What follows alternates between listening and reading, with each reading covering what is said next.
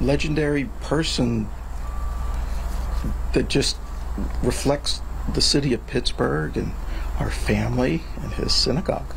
Judah Samet was a survivor with quite the incredible story. After surviving a Nazi concentration camp, he moved here to Pittsburgh. And then he survived the deadliest act of anti Semitism ever on American soil. Of course, the 2018 mass shooting at Tree of Life Synagogue. Yesterday, Samet passed away at the age of 84. Channel 11's Talia Kirkland is live in Squirrel Hill after speaking with Samet's family and finding out how Pittsburgh's Jewish community is remembering him. Talia?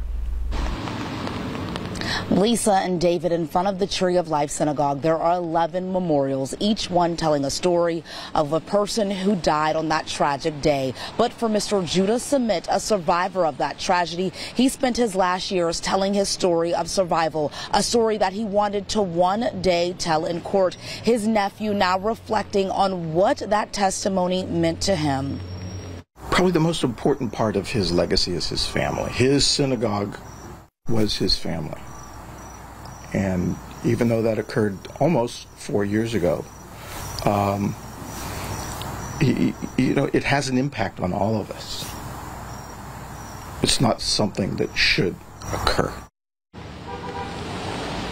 84 year old Judah Samet's entire life was a story of endurance right up until his death yesterday from complications of stomach cancer. A Holocaust survivor, he spent much of his adult life sharing his experiences with students about his life inside the concentration camp, sharing how his mother reunited his family and how the value of family and faith are virtues that guided his life. So on October 27, 2018, a day of worship his loved ones knew he would be with his synagogue family. Fortunately, and out of character for Mr. Samet, he was running late and had just parked when the first shots began. Friend and director of the Holocaust Center says even though Mr. Samet was unharmed, the tragedy impacted him deeply. But again, he wanted to share his story with his opportunity in court.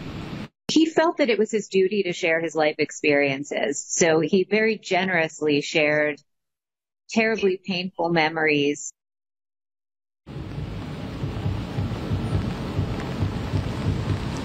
Mr. Smith's funeral, Mr. Samet's funeral services will be held on Thursday, and they are asking anyone who wants to send gifts to please donate to the Tree of Life Synagogue Rebuilding Campaign. Live here in Squirrel Hill, I'm Talia Kirkland, Channel 11 News.